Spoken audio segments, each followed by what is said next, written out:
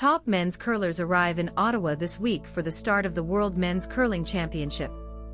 Canadian Brad Gushue will take to circuits from 12 countries for the nine-day curling tournament at the arena at TD Place.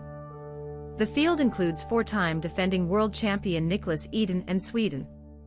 It's a star-studded course this season, so it's going to be very tough competition for Canada, Neil Houston, World Men's Curling Championship event manager, told Newstalk 580 CFRA's Ottawa at work with Patricia Boal. Houston encourages fans to buy their tickets as soon as possible. There are some tickets, but the sooner they buy, the better they'll be sure they have a seat, Houston said. Ticket sales are going very well because locals support this event. CTV News Ottawa looks at what you need to know about the World Men's Curling Championship in Ottawa when the World Men's Curling Championship will be held at TD Place from April 1st to 9th.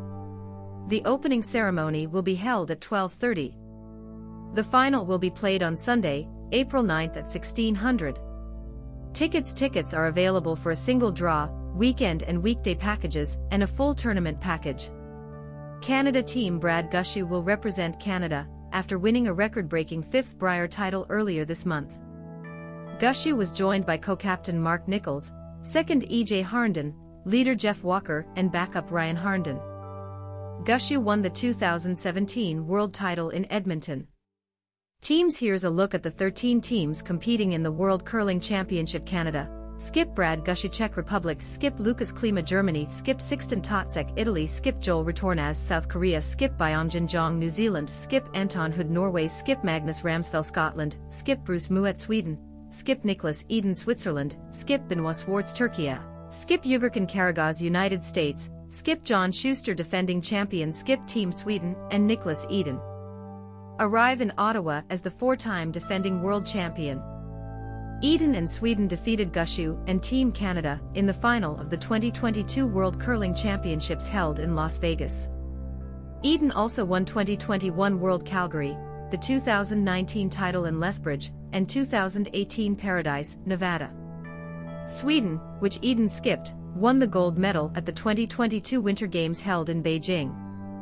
How to get to TD Place OC Transpo bus service goes to TD Place.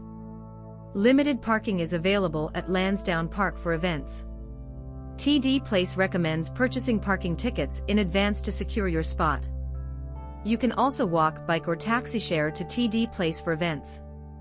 Original Patch 16 fans are invited to the Original 16 Patch, known as Curling's Party Place.